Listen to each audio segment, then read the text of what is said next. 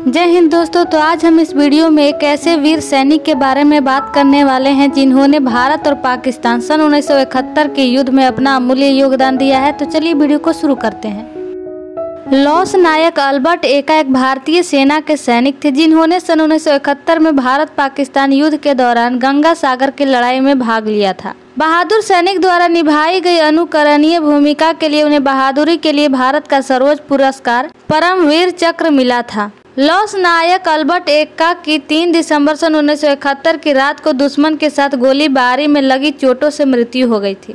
Albert का जन्म एक आदिवासी परिवार में हुआ था, जहाँ शिकार का व्यापक प्रचलन था, जिसके परिणाम स्वरूप अल्बर्ट की निशानेबाजी क्षमता कई गुना बढ़ गई थी। अल्बर्ट यह भी जानते थे कि तीर और धनुष का कुशलता पूर्वक उपयोग कैसे किया जाता है।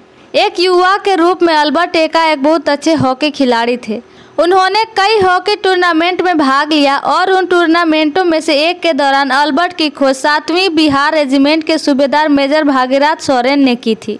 सूबेदार मेजर भागीरथ सोरेन के ध्यान में आने के तुरंत बाद अल्बर्ट ने बिहार रेजिमेंट के लिए साइन अप किए। अल्बर्ट एका ने 27 दिसंबर सन उन्नीस सौ बासठ को अपना प्रशिक्षण पूरा किया और सन उन्नीस सौ अड़सठ में चौदहवीं गार्ड रेजिमेंट में स्थानांतरित होने से पहले बिहार रेजिमेंट में एक सिपाही के रूप में छह लंबे वर्षों तक सेवा की। अल्बर्ट एका की बटालियन त्रिपुरा में तैनात थी जब भारत और पाकिस्तान के बीच शत्रुता छिड़ गई। चौदहवीं गार्ड बटालियन को पूर्वी पाकिस्तान में गंगा सागर कॉम्प्लेक्स पर हमला करने और कब्जा करने का आदेश दिया गया था, जिसमें गंगा सागर रेलवे स्टेशन, मोगरा, गोल गंगाल और त्रिभुज शामिल थे। अल्बर्ट एका ब्राओ कंपनी का हिस्सा थे, जिसका नेतृत्व मेजर ओपी कोहली ने कंपनी कमांडर के रूप में किया था। अल्बर्ट की कंपनी को गंगा सागर रेलवे स्टेशन पर कब्जा करने का काम सौंपा गया था। भारत ने गंगा सागर परिसर पर कब्जा करने का एकमात्र कारण त्रिपुरा राज्य की राजधानी अगरतला को पाकिस्तानी सेना द्वारा उत्पन्न किसी भी खतरे को दूर करना था, जो गंगा सागर परिसर से केवल छह किलोमीटर दूर था।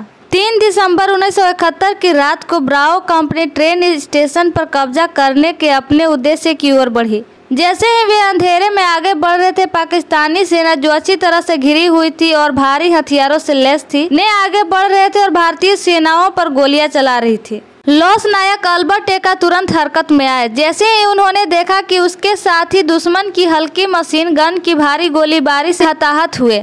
अल्बर्ट एका चुपचाप रेंगते हुए दुश्मन के एलएमजी बंकर की ओर बढ़े।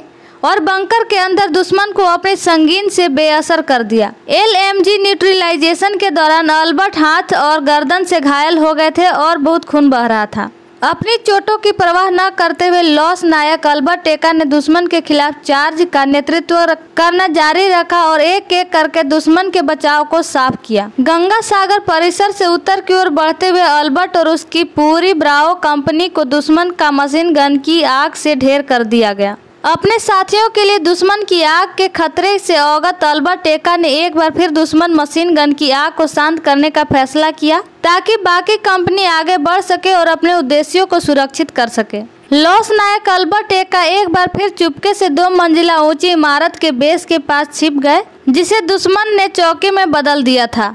इमारत के आधार पर पहुंचकर अल्बर्ट ने मशीन गन के घोंसले से एक हथगोला फेंका। हथगोला केवल दोनों में से एक दुश्मन को बेअसर करने में कामयाब रहा। स्थिति की गंभीरता को देखते हुए अल्बर्ट ने अपने दम पर इमारत की दीवार को तराशना शुरू किया और दूसरी मंजिल पर बंकर पर पहुँचने पर अल्बर्ट ने एक बार फिर खतरे को बेअसर करने के लिए अपनी संगीन का इस्तेमाल किया।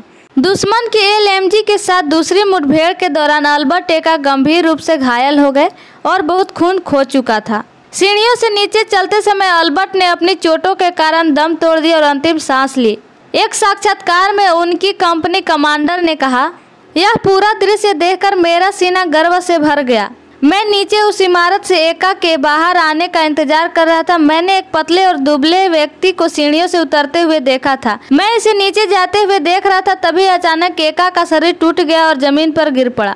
लॉस नायक अल्बर्ट एका पूर्वी पाकिस्तान में भारतीय सेना द्वारा किए गए सभी अभियानों के लिए परमवीर चक्र के एकमात्र प्राप्त करता थे। अपनी पुस्तक द ब्रे परमवीर चक्र स्टोरीज में लेखक रचना विष्ट रावत ने लिखा है, अल्बर्ट एका इमारत के खिलाफ झुकी हुई पुरानी जंग लगी लोहे की सीढ़ी पर चढ़ते हैं और एक खिड़की से बाहर कूदते हैं। वह अपने कंधों से राइफल हटाता है और संगीन के चमचमाते ब्लेड से मशीन गन चलाने वाले सैनिक पर आरोप लगाता है। घोघन निकल घोघन निकल। उस्ताद के निर्देशों को स्पष्ट रूप से याद रखे। उसके प्रशिक्षण को बमुश्किल चार साल हुए हैं और वह हमेशा एक शांत लेकिन एक अच्छा छात्र रहा है, जो मौन में पाठों को अवशोषित करता है। जो सिखाया गया है, उसे परखने का समय आ गया है।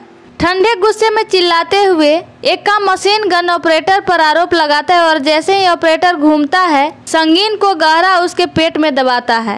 अपनी पूरी ताकत से उसे बाहर निकालते हुए वह अपनी राइफल उठाता है और ब्लेड को वापस आदमी के सीने में दबा देता है, दोबारा और फिर। लॉस नायक अल्बर्ट टेका अंतर्मुखी थे। वह बहुत शर्मीले थे और उन्हें अपने साथी सैनिकों के साथ मिलना बहुत मुश्किल था। लॉस नायक अल्बर्ट टेका ने बहुत वैगी वर्दी पहनी थी, जिसके लिए उन्हें, उनके वरिष्ठों ने कई बार डांटा था। उनके कंपनी कमांडर ओपी कोहली याद करते हैं, अल्बर्ट अपनी व्यक्तिगत उपस्थिति या अपनी वर्दी में पूरी तरह से रुचि नहीं रखता था। उसे जो भी आकार की वर्दी दी जाती थी, वह एक दर्जी द्वारा फिट करने की परवाह किए बिना पहन लेता था। इसका परिणाम यह हुआ कि उसके कपड़े उसके पतले शरीर पर लटक गए और उसके कंपनी कमांडर का गुस्सा भड़क उठा। जो सुंदर चक्रों के बारे में थोड़ा चुस्त था, वह अक्सर अपनी कमर के चारों ओर लटकी हुई अपनी बेल्ट को खींचता था। और उसे अपनी उपस्थिति ठीक करने के लिए कहता था। मैं कभी कभी उस पर पागल हो जाता था क्योंकि वह स्मार्ट भागीदारी पर इतना ज़ोर देता था। लॉस नायक अल्बर्ट टेका की अपने आदमियों पर कमान और नियंत्रण बहुत अच्छा था। तब कंपनी कमांडर ओपी खोली, याद करते हैं? उसका आदेश और नियंत्रण विशेष रूप से अच्छा था क्योंकि वह बहुत ही संयमित था और दूसरों के साथ घुलना मिलना या ज़्यादा बात नहीं करता था। उसका चेहरा हमेशा खाली रहता था और वह तभी बोलता था जब उसे ज़रूरत होती थी। आप उसके चेहरे से कभी नहीं बता सकते थे कि वह खुश था या उदास और वह क्या सोच रहा था। अगर आपको ये वीडियो अच्छा लगा है तो आप हमारे चैनल को सब्सक्राइब करें ताकि आने वाली वीडियो की नोटिफिकेशन आप तक पहुँच सके। जय हिंद, जय भारत।